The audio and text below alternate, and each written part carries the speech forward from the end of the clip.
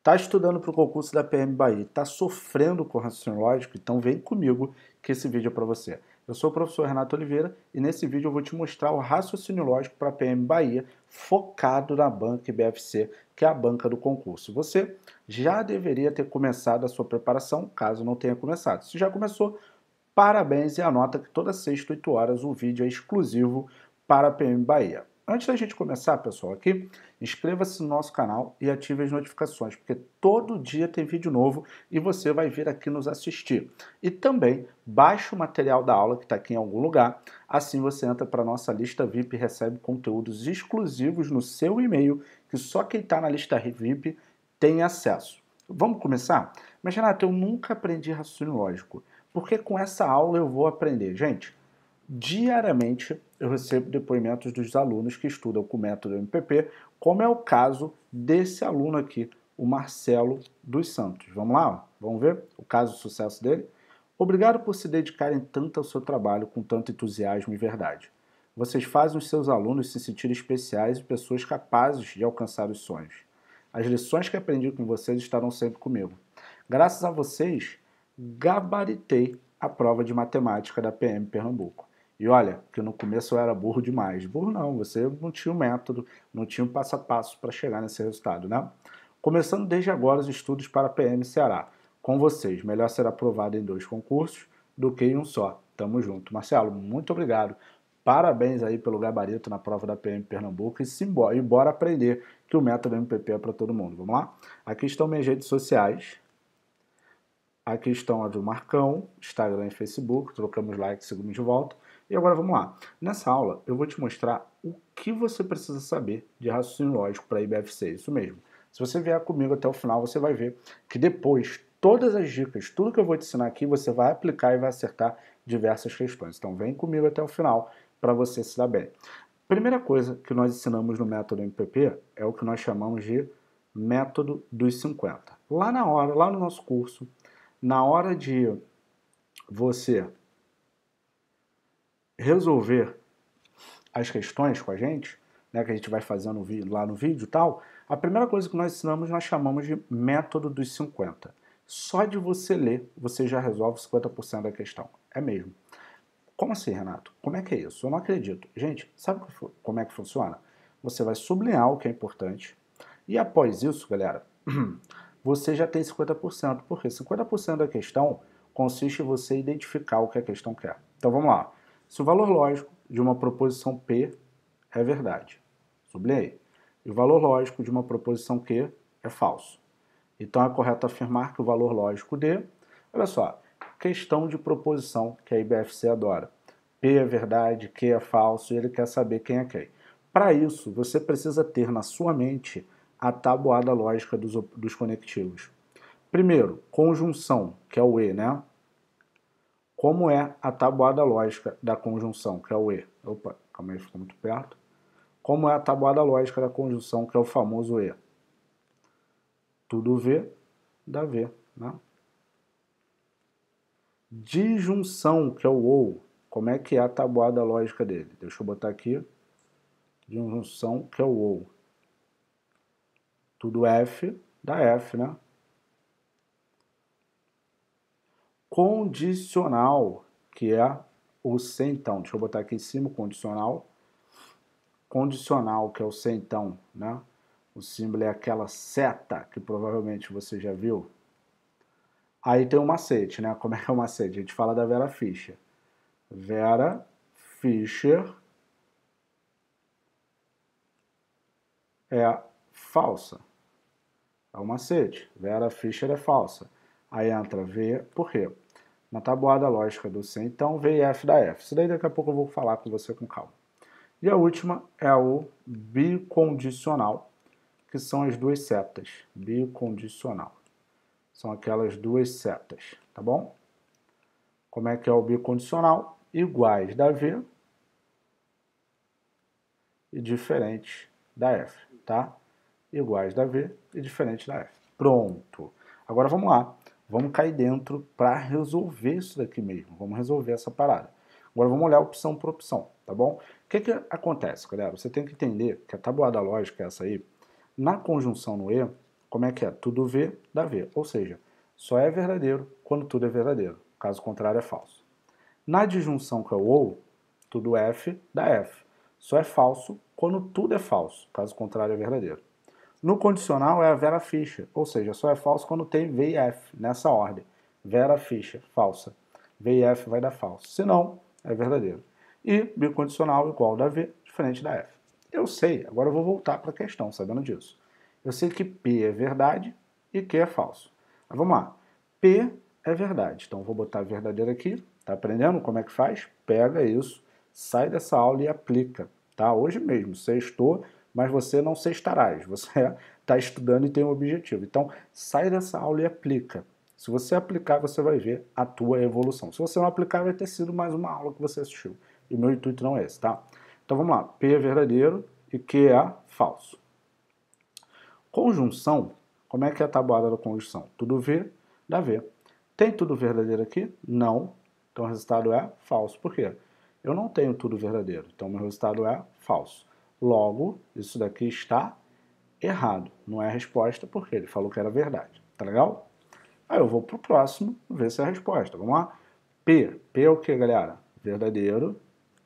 Que é falso. P de junção. Ó. De junção está aqui. Tudo F dá F. Gente, tem tudo F aqui? Não. Então o resultado disso é verdadeiro. Mas ele falou que era falso. Está errado. Tudo bem? P condicional o quê? Ó, condicional é o sem então.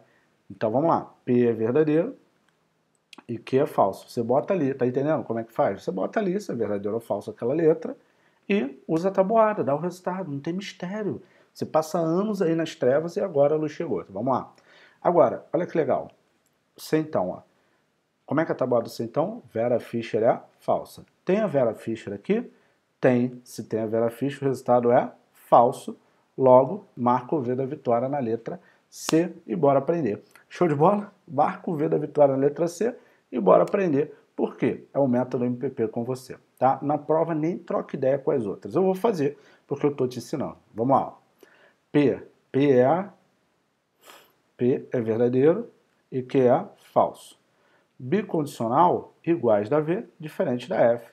Como os caras aqui são diferentes, o resultado aqui é falso, ele falou que era verdade. Né?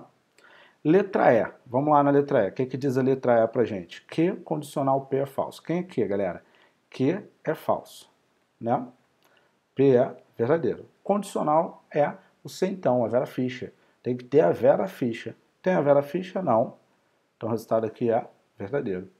Né? Então tá errado porque ele falou que era falso. Show de bola? Tranquilo aí, zero trauma. Então, bora aprender mais. Vamos lá. Próxima questão. Então, se liga, deixa anotado essa primeira questão. Você, se você pegar e fizer várias questões assim, pode pegar a IBFC e pegar essas questões, você vai ver que tu vai deslanchar com essa dica que eu te dei. Então, bora aprender. Ó. João amava Teresa e sempre foca aqui nos conectivos. Por quê? Existem cinco conectivos. Né? Já falamos aí de quatro na questão 1. Ó. Primeiro o E, o OU, o condicional, que é o se então, tá? Você vai ver muito ele. O bicondicional, que é o se e somente se. E tem o, a disjunção exclusiva. A IBFC, galera, pega esse bizu aqui. Deixa eu sair daqui. Ah, não, dá para escrever. A IBFC, galera, se liga. A IBFC, ela não costuma cobrar muito o OU, tá? Disjunção exclusiva. Tabuada dele, iguais da F, é o contrário de C somente C. Diferente da V. Pronto, esses são os conectivos que existem. Tá legal? Deixa isso anotado aí. Vou até deixar aqui, ó, só a tela para você anotar, para complementar, né? E bora aprender. Bora lá. Vamos para a próxima. O que, que diz a próxima aí, galera? Próxima fala.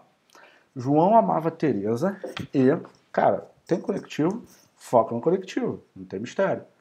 A negação desta proposição lógica composta, baseada no primeiro verso da quadrilha, de quadrilha de Carlos Drummond de Andrade, é corretamente, isso é só para enrolar. Ele quer a negação do E. Galera, para você estudar raciocínio lógico de maneira correta, que nós falamos no método MPP, é o quê? Primeiro, você começa com proposição simples e composta, que quase não cai em prova, mas às vezes vem, só que é a base.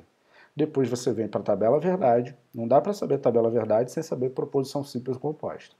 Depois você vem para negação, depois para equivalência, depois para argumento, aí depois vai sequência, outras coisas. Aí vai depender do teu edital. Pegando o último edital da IBFC, você segue isso, tá? No raciocínio lógico. A outra parte é porcentagem, fração, né? Tudo bem? Beleza? O último edital trabalha com isso. Se não tem conjuntos também. Então, simbora. O que acontece, galera? Na negação, é muito simples. Como é que você vai identificar? Olha o método de 50, como ele é poderoso. O problema é de negação. E a negação de qual conectivo? Do E.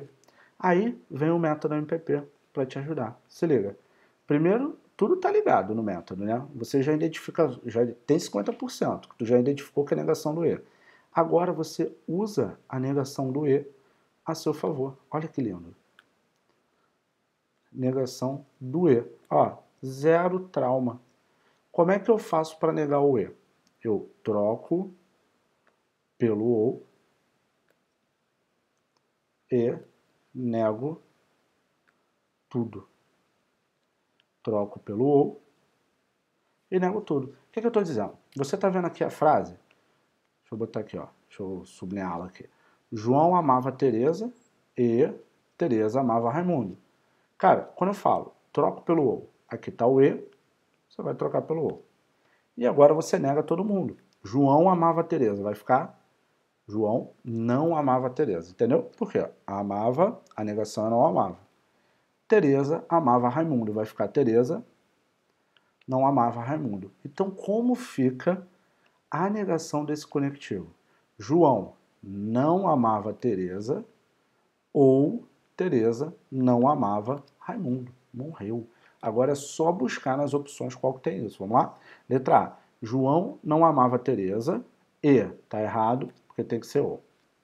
Letra B. Tem o E, nem troca ideia. Letra C. Tem o E, nem troca ideia. Então, se não é A, não é a B, não é C, só pode ser a D. Marca o V da vitória. Tá? E aí, tá certinho por quê? João não amava Teresa ou Teresa não amava Raimundo. Certíssimo. Letra D. Agora, Pega isso daqui que é muito poderoso. Quando eu falo que é para trocar o ou, se liga. Pô, se você sabe que para negar o e você tem que mudar para o ou, você só vai focar na opção que tem ou. Olha como tu vai resolver essa questão muito rápido. Ó, essa tem ou? Não, já risca. Essa tem ou? Não, já risca. Essa tem ou? Não, já risca. Opa, a única opção que tem o ou é a letra D, então marca o V da vitória. Show? Só que eu te ensinei a encontrar, porque primeiro você tem que saber encontrar, e segundo, a negação do E pode ser o C então também. Ai meu Deus, faz uma coisa. Aqui embaixo eu coloquei um link de uma aula que eu ensino as principais negações. Assiste quando acabar, tá bom? Vamos lá. E aí acaba a tua dúvida. Eu vou te falar quando tu usa tal, porque isso é uma aula mesmo. Então, tem uma aula aqui no canal mesmo, gratuita. Simbora. Vamos lá. Agora, questãozinha de porcentagem. Vamos lá, ver essa de porcentagem. Sabendo que 40% do preço de um televisor custa 960. Então, 40% é 960. Então, o valor do televisor com 10% de desconto é igual a... Aí você vai virar para mim e vai falar, meu Deus, meu Deus nada. Nessa aula você aprendeu o método de 50, tu já sabe que é o problema é de porcentagem. O que você tem que fazer? Você tem que primeiro achar o valor total e depois achar com 10%. Simples, olha para cá. Você sabe que 960 representa 40%. Por quê? Porque está escrito, ó, 40% custa 960. Então, 960 é 40%. O total é X, que é 100%. Show? Cara, toda vez que tu for fazer uma questão de porcentagem, você já vai na mente, cara, eu vou montar uma regra de 3 e multiplicar cruzado, tá?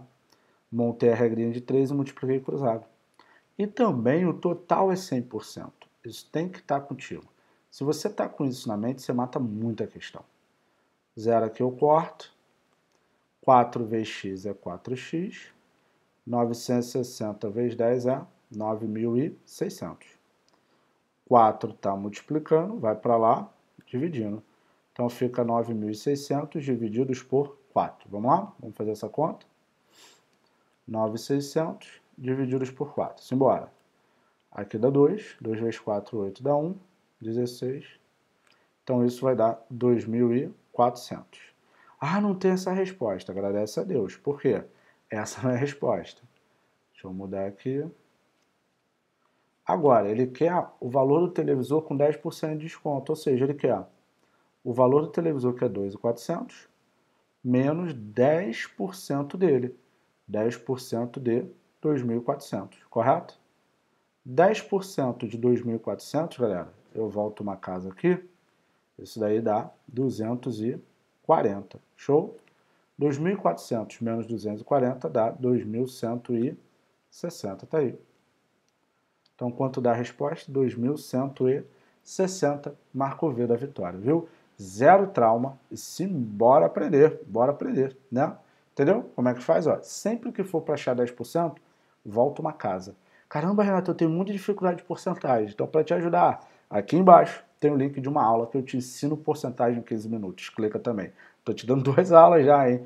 Uma de negação, outra de é, porcentagem. Você vai ver que se você aplicar o que eu te ensino hoje, nesse vídeo, e também nos vídeos que eu estou falando para você assistir, tu vai ver teu rendimento decolar, tá?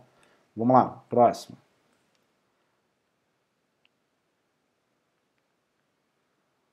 Paulo pagou seu aluguel utilizando 3 quartos do valor de seu salário.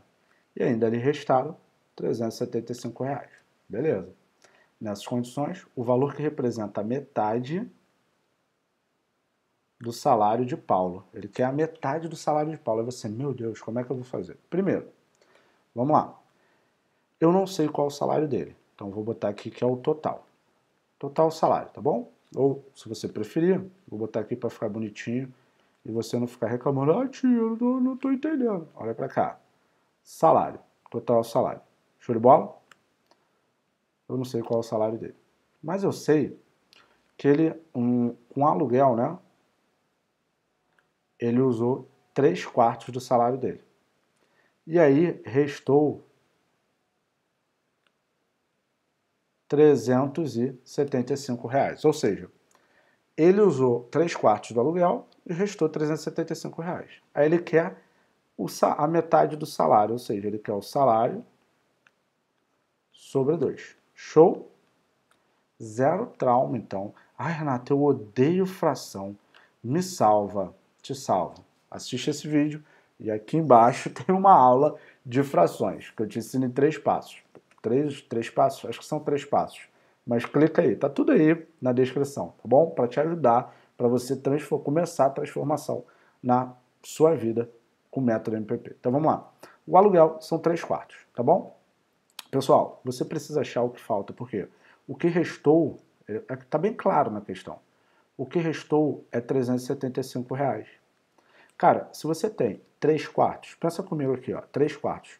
Para achar o que restou é muito fácil. Escuta o que eu vou te falar. Você está com três, não é? Você vai ver o quanto falta para o de baixo. 3 para 4 falta 1, ou seja, é um quarto. Acabou. Sempre assim, Renato? Simples desse jeito? Simples. Você vai olhar para o de cima, é 3, né? Quanto falta para o de baixo? 1. Então, é um quarto que restou. Tudo bem? Zero trauma. Um quarto é igual a 375. Agora, eu vou achar o salário do cara. O total, né? Que é o salário. Galera, pega esse bizu do método MPP. Sempre, sempre que apareceu igual, você divide pelo de cima e multiplica pelo de baixo, tá bom? Então vai ficar 375 dividido por 1, que é 375. Deixa eu sair daqui, né? Deixar só a tela.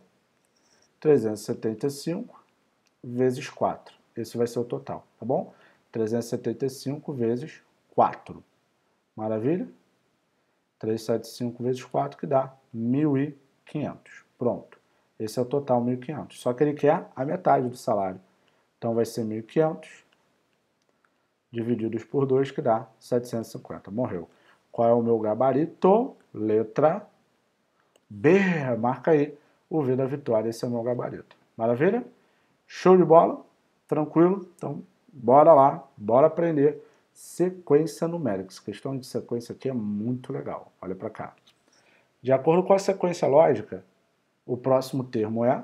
Olha para cá, pessoal. A sequência é essa. 3, 7, 7, 10, 11. Eu vou te dar um bizu aqui, uma dica, que é muito poderosa. Então vem comigo, 16, 19, 19. Ele quer o próximo termo. Galera, sequência numérica não tem jeito. Você tem que meter a mão e ir fazendo. Não tem para onde correr, meter a mão e sair fazendo. Aí você começa aqui, do 3 para o 7 aumentou 4. Cara, do 7 para o 7 não fez nada. Galera, quando for não fez nada, bota, multiplicou por 1. Pega esse bizu. Não fez nada, multiplica por 1. 7 para o 10 é mais 3. Mais 1. Mais 2. Ai, meu Deus, já não estou entendendo mais nada. Então, para. Sequência numérica é isso. Não está entendendo mais nada, para. Agora, um grande bizu é, quando você tem dois caras repetidos, experimenta colocar a sequência em pé. Tá? É uma deixa. Mas também, se você está achando que está muito difícil, coloca a sequência em pé. Quando a gente coloca a sequência em pé, eu sempre recomendo começar de 2 em 2. 3 e 7, 7 e 10, depois 11 e 13, de 2 em 2. Por pares, 15 e 16, 19 e 19. O próximo vai estar aqui nessa coluna. E aí você vai analisando coluna por coluna o que está acontecendo. Olha que lindo.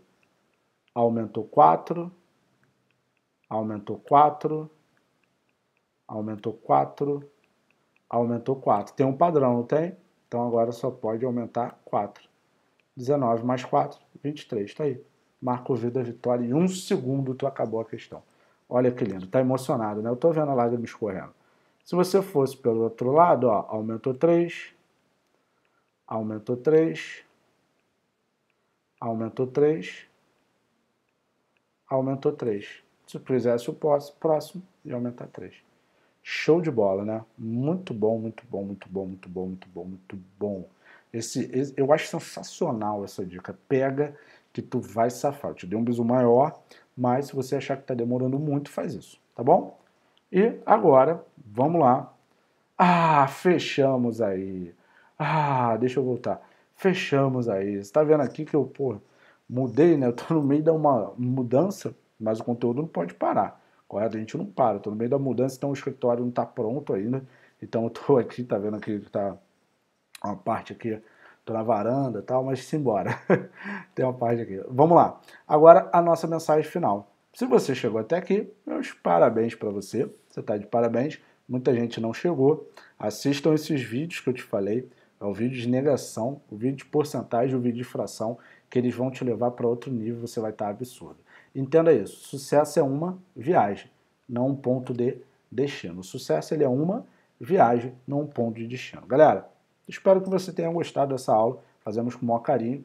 Semana que vem eu estou de volta aí, eu não sei se sou eu ou o Marcão, mas semana que vem tem outra aula para PM Bahia, toda sexta-feira, 8 horas da noite, é aula da PM Bahia. Bora aprender, esse é o método MPP. Valeu? Se você gostou, deixa aí nos comentários. Tamo junto, até a próxima, bora aprender. Valeu, galera, até lá!